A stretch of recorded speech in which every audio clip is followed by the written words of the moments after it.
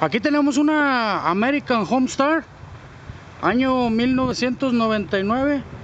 Sus medidas son 14 por 66, tres recámaras, dos baños. Está cubierta el exterior de metal. Vamos a pasar al interior para checar las condiciones. Aquí nos encontramos con lo que viene siendo la sala. El área de la sala no contiene playwood, no contiene carpeta ni linóleo, únicamente el playwood. Contiene un diseño de espejo en el área de la sala del lado derecho, así como contiene un abanico de techo. Sus ventanas son sencillas de pulgada, ventilas en el piso. Todo lo que viene siendo el área de la sala no contiene carpeta ni linóleo para el gusto del cliente. Es el área del comedor. Y donde está el foco aquí es donde va el comedor. Contiene linóleo tipo laminado madera.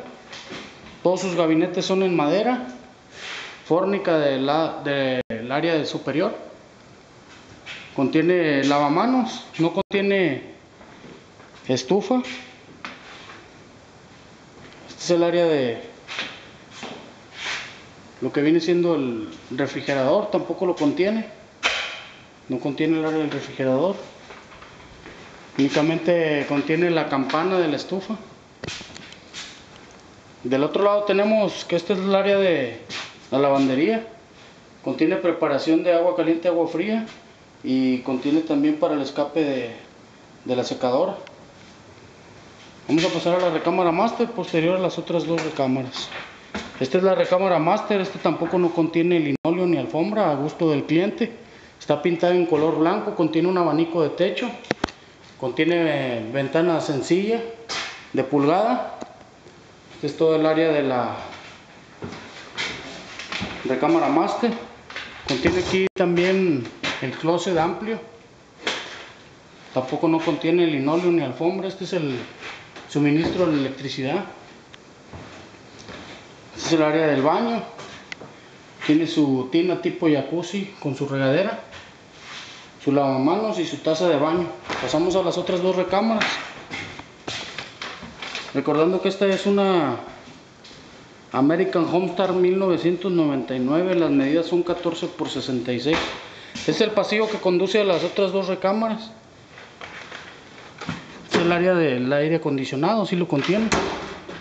El de adentro.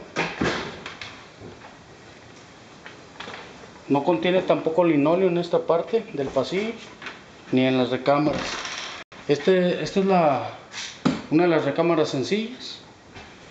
Tampoco no contiene ni linóleo ni alfombra, puro solamente playwood. Se ve macizo el playwood. El área del closet. Al parecer este playwood es de 3 cuartos. Se siente macizo.